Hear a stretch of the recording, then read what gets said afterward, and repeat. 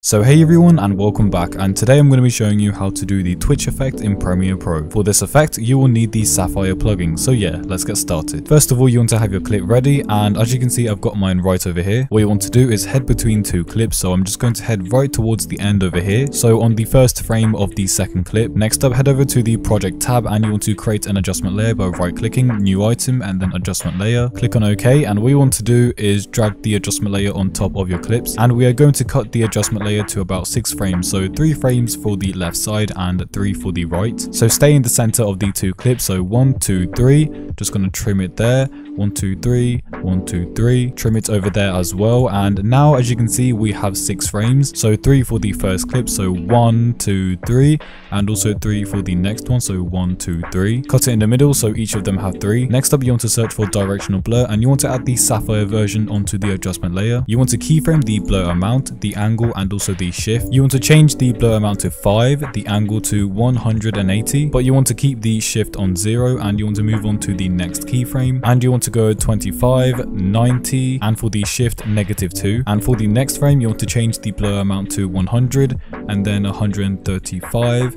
and then 1. So now you should have 3 keyframes for each of these. Moving on to the second adjustment layer, you want to add the directional blur effect once again. You want to do the same thing and keyframe all of these and you want to set the blur amount to 100. Keep the angle at negative 45 and the shift should be negative 2. Next one, so 75, uh, negative 80 and also 1. And for the final one, it should be 30, 15 and then negative 1. But anyways, that's all you need to do. So thank you for watching, have a great day and I will see you in the next video. So yeah, peace.